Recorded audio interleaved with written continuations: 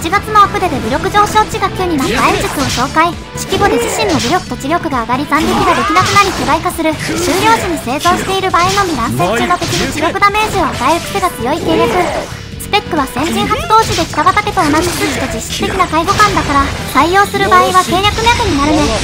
敵場合は同じく斬撃を使ってから計略を発動するのがお得巨大化は部隊の反転拡大で敵上準備エリア到達までを早くしたり敵の兵士アクションを封じることもできて創造性の高いクリエイティブな計略発動時に当たり判定が大きくなるのを生かして少し離れた敵に接触ダメージを与えることも可能でこの試合の終盤でその使い方をしてるよ。一の型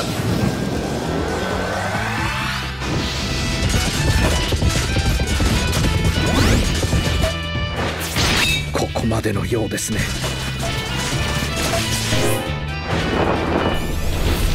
熱望に。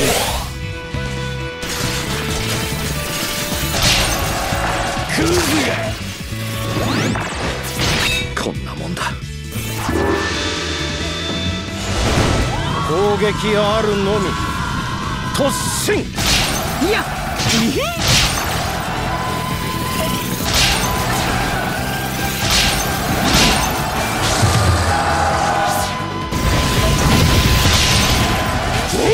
け。いや。息子を頼む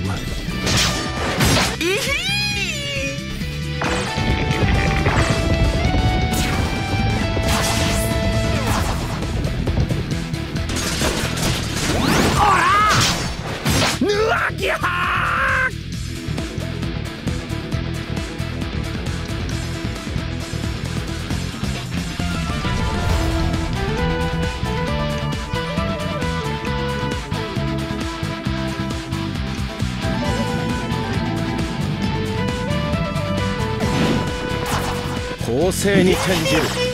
配球位置はどこじゃ？参る流派発動。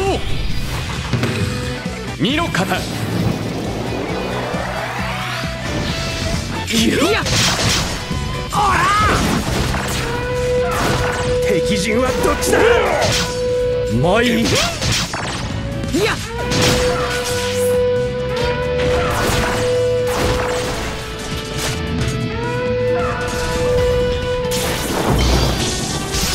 誠の旗のもと誠の武士どもよ集え!流派発動!一の型。こ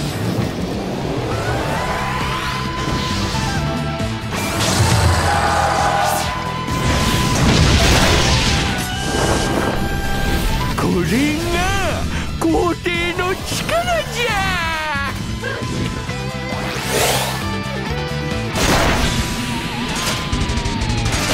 いや。戦機解放。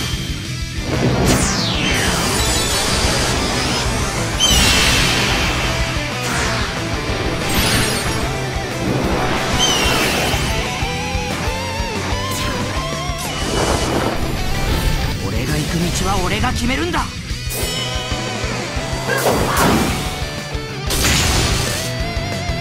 戦機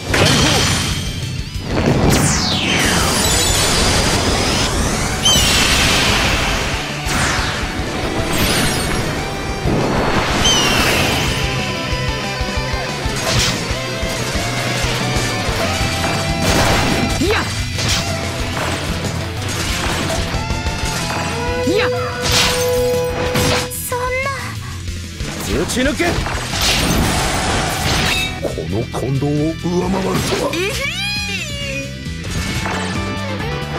ぬわぎゃ参る流派。発動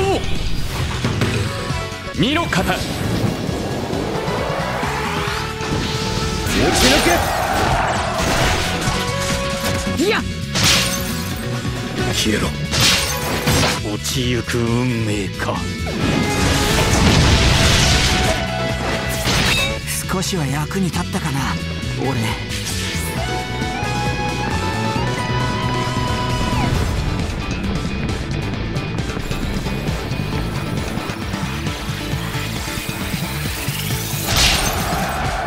私は生きているのですね。敵陣はどっちだ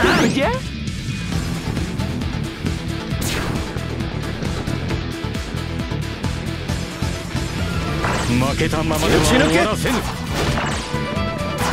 消えろ。打ち抜け。行け。参る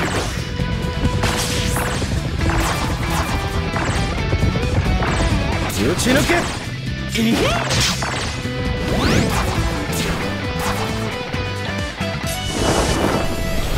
無駄なく迅速に決着をつけましょう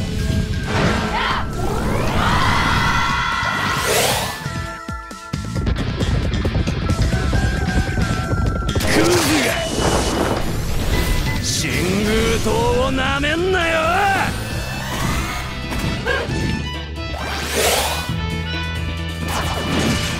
消えろ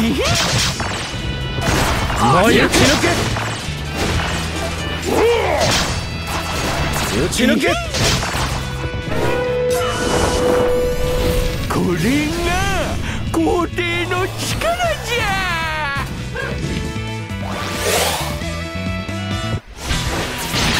ここまでのようです。こんな感じで斬撃から計略活動をして巨大化で接触判定を与えるのは消耗した敵部隊を取れることもあるのに気づいてからこの計略が使いやすく感じるようになったよ。消えろ。人たちで決める。それが俺流だ。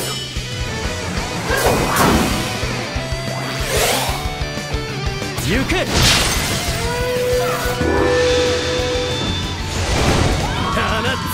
し折ってやれ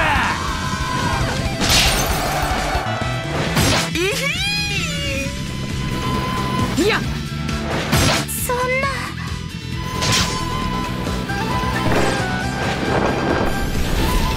滅亡を見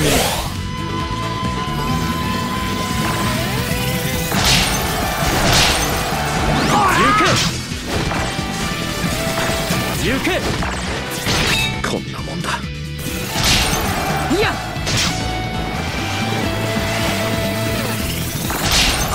行け。やっぱり僕じゃ。少しは役に立ったかご視聴ありがとうございました